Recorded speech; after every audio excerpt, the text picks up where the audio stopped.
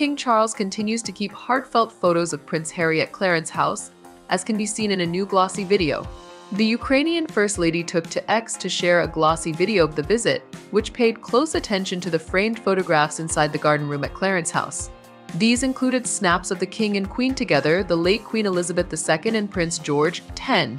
One shelf featured a touching tribute to the late monarch with a photo from her 90th birthday in 2016. In the portrait, Charles 75 stood next to his seated mother as she smiled at the camera wearing an elegant blue dress. Another sweet shot showed Charles holding Prince George when he was a newborn in 2013.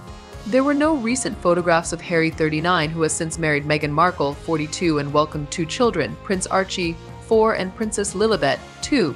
Since stepping down as a working royal, the relationship between Prince Harry and his father has appeared to be complex. From sitting down for an explosive interview with Oprah Winfrey to writing a tell all memoir, the Duke has made many public statements about his family members.